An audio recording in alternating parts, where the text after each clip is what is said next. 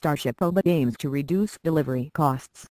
A new robot developed by one of the original funders of Skype could help reduce the price we pay for deliveries, and possibly make them free in the future. Starship drives autonomously to the shopper's doorway and then texts an alert message to announce its arrival. The low-speed robot is designed to drive for a few miles from a local hub or a shop and can only carry small loads. The company is currently testing its prototypes and hopes to launch pilot services in the UK next year.